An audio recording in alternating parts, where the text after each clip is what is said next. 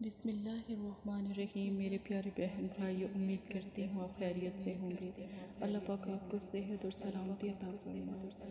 اگر آپ استخارہ روحانی علاج کروانا چاہتے ہیں، جادو، سفری، علم نظر بد کی بندش کو ختم کروانا چاہتے ہیں، تو مدرسہ فاطمہ الزہرا سے استخارہ کروا کے اپنے لیے جو بھی اچھا عمل ہے وہ کریں اور مدد حاصل بھی کر سکتے ہیں۔ پیارے بہن بھائیوں بہت سے پریشان حال لوگ بہت تکلیف میں ہیں۔ کاروباری حالات، کاروباری بندش، جادو سفلیلا یہ سب کی وجہ سے بہت مشکل ہو گئی کہ زندگی گزارنا۔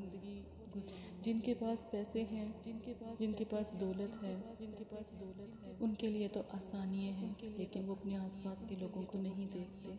اور جن کے پاس ہے نہیں، تو وہ تڑپتے رہتے ہیں۔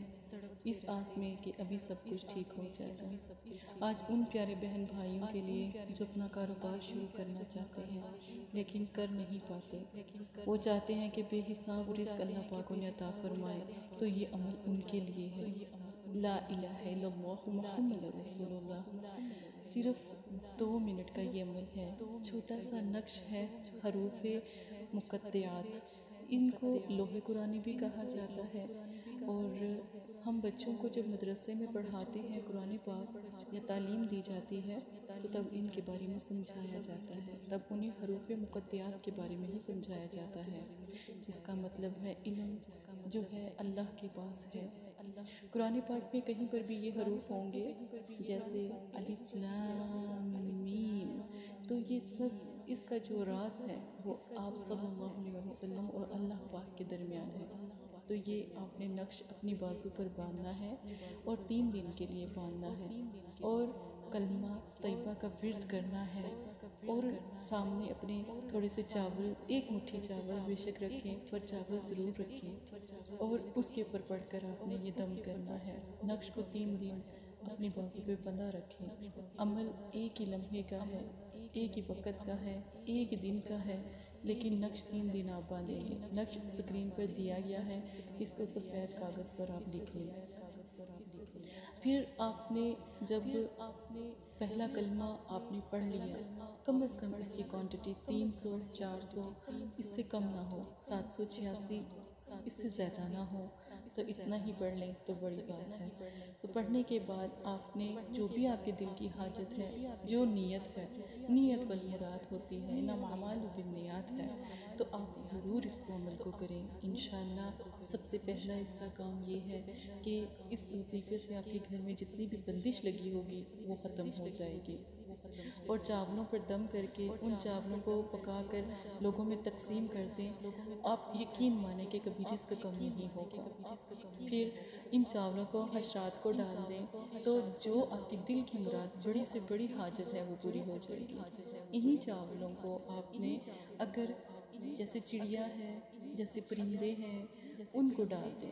تو یقین مانیں کہ جو آپ کا بڑا مقصد ہے، جیسے گھر، پیسہ، دولت، عزت، رتبہ، مرتبہ، وہ آپ کو اسی لمحے مل جائے گا اور دعا قبول ہوگی۔ جب یہ چاول سمجھے ختم ہو گئے، آپ کی دعا قبول ہو گئی اور جس مقصد کے لیے آپ نے یہ عمل کیا، الحمدللہ وہ بھی قبول ہوا۔ ایک دفعہ یہ خاص عمل ضرور کریں، انشاءاللہ تعالی دوبارہ کسی اور عمل کی ضرورت نہیں پڑے گی، سبحان اللہ۔ اور جادو اور سفری علم کی کاٹ کے لیے، اس کے لیے یہ ضروری ہے کہ نقش کو بھی تین دن اپنی بازو پر باندھیں، ٹھیک ہے؟ اور کلمہ طیبہ کا ایک گلاس پانی میں ورد کریں اور اپنے گھر میں چھڑکاؤ کریں، ٹھیک ہے؟ اور چھڑکاؤ کرنے کے بعد رات کو کریں عشاء کی نماز کے بعد اور سو جائیں چہرہ بھی جس نے جادو کیا ہوگا نظر آئے گا جس نے آپ کو تنگ کیا ہوگا وہ بھی نظر آئے گا۔ اور آپ کو واضح پتہ لگ جائے گا کہ کس نے جادو کیا جس نے بندش لگائی کون ہے آپ کے سامنے آ جائے گا۔ انشاءاللہ تعالی۔ اگر آپ کو پہلے دن نظر چہرہ نہ آئے، دوسرے دن کریں۔ پر عشاء کی نماز کے بعد اس کا چھڑکاؤ کریں اور پھر سو جائیں۔ گھر میں جتنی بھی بلدیات ہے وہ خود بخود آپ کے گھر میں چیختی چلاتی ہوئی نکل جائے گی۔ نظر بد لگی ہے تو وہ بھی الحمدللہ للہ ہے، وہ کٹ جائے گی۔ اور جو بہن بھائی کاروباری مسائل میں پریشان ہوتے ہیں جنہوں نے باہر نوکریاں کرنی ہوتی ہیں، پہلے یہ عمل کریں، اللہ کو یاد کریں، پھر اپنے گھر سے باہر قدم رکھیں۔ ہر قدم الحمدللہ کامیاب ہی کامیاب ہے۔ انشاءاللہ تعالی استخارہ ضرور کروایا کریں۔ اللہ کی رضا ضرور جانیں۔ وہ بہن بھائی تو لازم استخارہ کروائیں جو باہر ملک جانا چاہتے ہیں، یا پھر اپنا نیا کاروبار شروع کرنا چاہتے ہیں، یا پھر اپنا نیا کام یا جاب پہ جانا چاہتے ہیں۔ وہ ضرور رابطہ کریں۔ انشاءاللہ آپ کی بہن آپ کے ساتھ ہے اور ضرور آپ کی مدد کرے گی، انشاءاللہ تعالی۔ اپنا بہت زیادہ خیال رکھیے گا۔ جزاک اللہ خیرہ استخارے کے لیے آپ کا نام، آپ کی والدہ کا نام اور موجودہ شہر کی ضرورت ہوتی ہے۔ اور مسئلہ بیان کر کے آپ اپنا استخارہ بھی کروا سکتے ہیں۔